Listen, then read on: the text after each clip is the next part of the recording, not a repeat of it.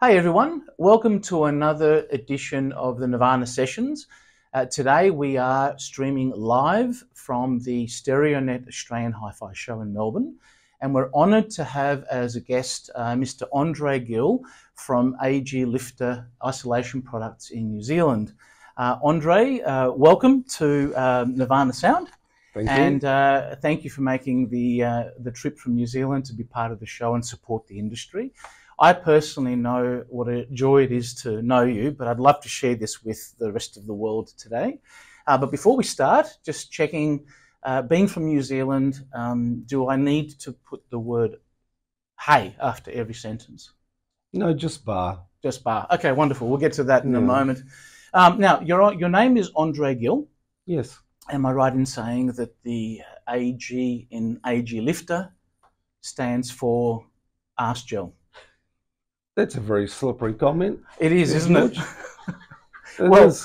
I couldn't think of anything funnier, Andre. But anyway, but we, we, to be serious though, you've been actually uh, uh, in the engineering industry for 35 years. You've got a lot of experience. Yes.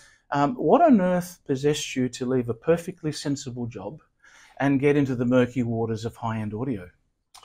Well, we've got two businesses, so we still have the core business, Yes. Which supports, which does support the audio business, hmm um, because you need an engineering facility to fa- facilitate and manufacture all the dreams that I make up every day. Oh, right. Okay.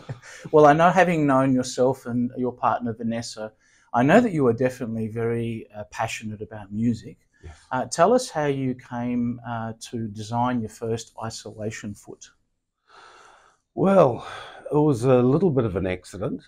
Uh, we're on holidays, uh, one one Christmas holidays, and I drew, drew a crazy sketch hmm and went back home, developed it, manufactured it out of what I could see on the steel rack, out of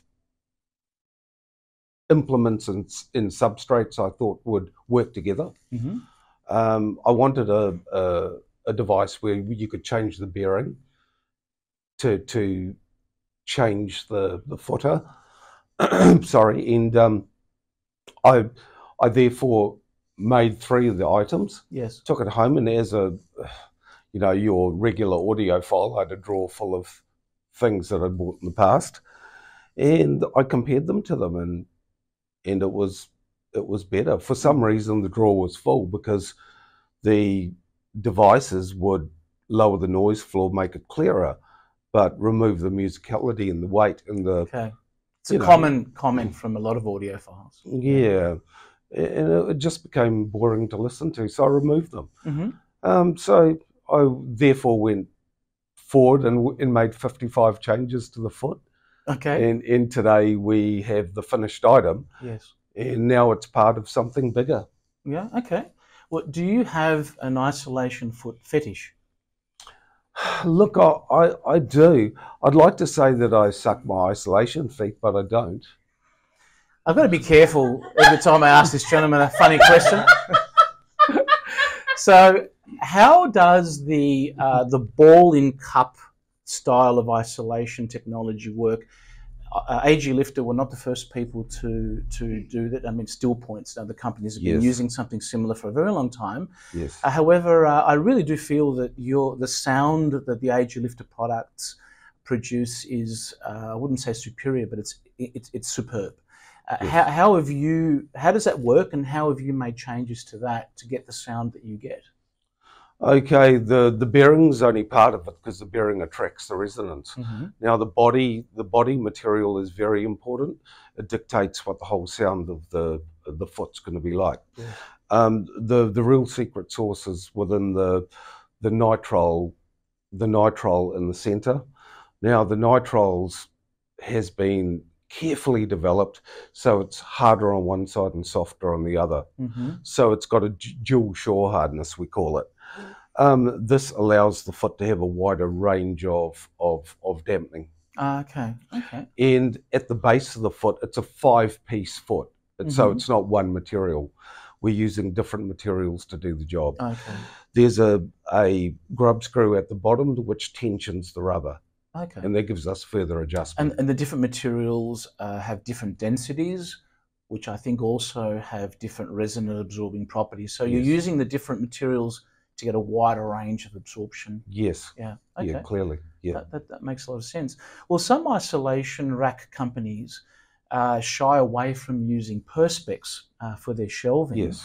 Can you tell us why, with all the research you've done, you've chosen perspex in your racks? Well, it it works in our design. Mhm. It's easily obtainable. Mm-hmm. Um, it it has a sort of aesthetic look where you're looking through the rack Mm-hmm. and your equipment is seemingly levitating on it. Yes. So we we like that. hmm Um, and because it's a man-made material, we don't use any organic materials hmm because they change. Okay. Like man-made materials are just the same. more stable, more sort stable. of a, a, atomically stable. Yeah, and Yeah. all year round. They're not hydroscopic. hmm hmm Uh, we steer away from timbers Okay. Um, because timber is hydroscopic hmm and it will change its sound during the course of a year. Yeah, it can even change according to humidity and lots of other. Each tree Yeah. sounds different, Yeah, crazy yeah, as yeah. it may seem. Yeah, yeah, right, right. Um, so and, and each perspex tree sounds the same. it does. It's very clear. Okay. um, well, we uh, without in, in this in this particular discussion, we're not going to go into the science of resonance because it's it's quite a, a huge topic. But we all know that uh, electric electric components or electronic components like DACs amplifiers, they produce um, a, a- multitude of resonances across lots of frequencies. We know that they interact with each other. They interact with the shelf, the floor. However, we also know that there are resonances introduced from the environment, surrounding environment. Yes. Tell us how your racks deal with uh, these energies. Right. Well, there's layers of dampening, decoupling, and coupling through Yes. the rack. So we we go through a simple exercise of using the shelf, the dampening foot, the Mhm. frame. Now the frame's another secret sauce. This is a frame which is made out of aluminium alloy, Mm-hmm. but it's constructed in a way that it, it is adjustable. Okay. So we we can tune the rack. It's like a tuning fork, if you like. Mm-hmm. Um, now we're able to actually set the tune for your equipment in your room, Okay. it, it, which goes another step further. Well, that was actually my next question because you are the only rack manufacturer that I've, to the best of my knowledge in the world, that uses the term frame tensioning. yes. Uh, so tell us, tell everyone a little bit more about what is frame frame tensioning, and how does that relate to customizing the rack for the particular uh, Okay. system and room. Okay. Well, the by shifting the tension tension on the frame, as you put it, Yes. what we're doing is we're actually setting the resonant frequency of the frame. Mm-hmm.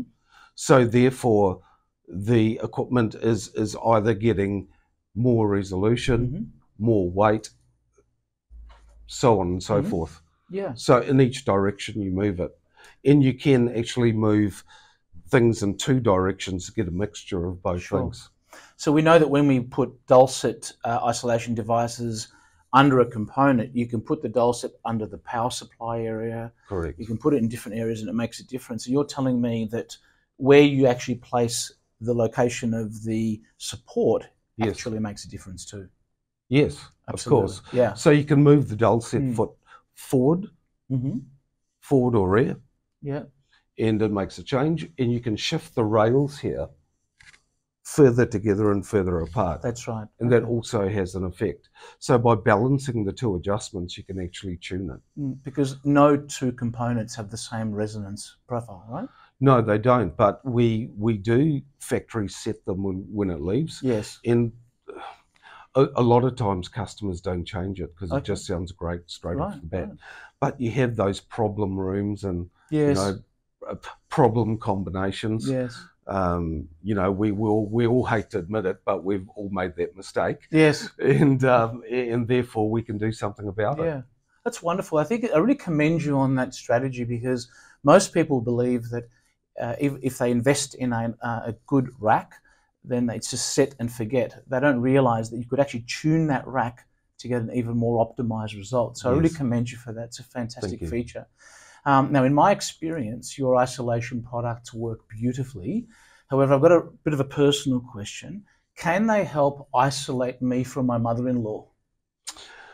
Well, you could do if you Mm. played a really loud music in your room, and that would get rid of her. Okay, I think I've tried that. You're a, a relatively new company in the world of high-end audio. Mm. What are your ambitions for the next few years? It's to continue to grow and get our name know, more well known. Yes. Um, we're we're beginning to get there now. We've we've been Mm.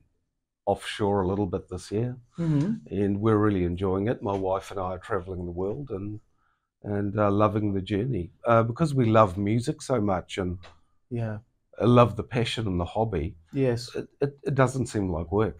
One of the things that I, uh, in, in my experience in audio, one of the things that I have um, really come to admire is that, yes, there are large established companies that are the, the sort of poster boys for audio, but often the best work is found in the smaller boutique companies from um, relatively unknown areas. So for me, it was a delight to see a company in New Zealand kind of come out of nowhere, and when we tested your racks, they were just giant killers. So it's one of Oh, the one, won- wonderful um, surprises uh, in audio that I really enjoy.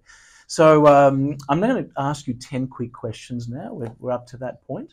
Um, uh, 10 quick questions and 10 relatively quick answers just to see what's on your mind. Uh, are you ready? Well, I hope so. All right. Well, what is your favorite word? Mm, dinner's ready. I think that's just I become just, mine. I, I just love my food. That's fantastic. what is your? Oh, you said that you become a bit hangry if you get hungry. Uh, I do. I'm not a good person no, okay. Well, let's keep. Uh, it is near dinner order some now. food, please. Okay. Uh, what is your least favorite word? Vegan, probably. Oh no! I think you've just offended someone in the room. no, not not really. Uh, no, that's fine. That's fine. Um, if you could use one word to describe a great sounding system, uh, what would that word be? Natural. Yeah, natural. That's such a good explanation, actually. I, I agree with you. Mm. That's how I describe some of the best sounding products. Um, What do you prefer listening to, um, analog or digital? Look, um, I've got a foot in both camps, but I've got a love affair with vinyl. You've got an isolation foot in both camps. Yes, I do. I do. you love vinyl. What sound or noise do you love? Oh, I just love the the sound of crackling steaks on the barbecue. okay, I'm sensing a theme here. I think our vegan person just ran out the door. um, what sound or noise do you hate? oh, God, the Cockney accent. I think. All right. Says a New Zealander. I love it. what is your proudest uh, achievement? Well, marrying my wife, I think she put me Mhm. on the stra- straight and narrow. Yeah, yeah. Well, having met Vanessa, I tend to agree with you. yeah, yeah, yeah, yeah. She's she's very patient, yes. very patient. Well, um, if you could have, this is a very difficult question to answer. If you could have just one album, just keep one album, and that's Hmm. all for the rest of your life, which one would it be? it would have to be Eugene's version of Led Zeppelin, Stairway Right. Um, I've never seen a stand-up ovation in this room. Yes, We saw it today. We had. and I went, Every time This Eugene played that, played that, everyone just clapped. It was incredible, wasn't I it? I know. I just couldn't get over it. Yeah. I'd, I'll buy it off you. Hundred bucks. Come on. I don't think you're going to have much luck. No. Um, so, if money was no object, how would you spend your time? I think in my listening room. Yeah. Yeah.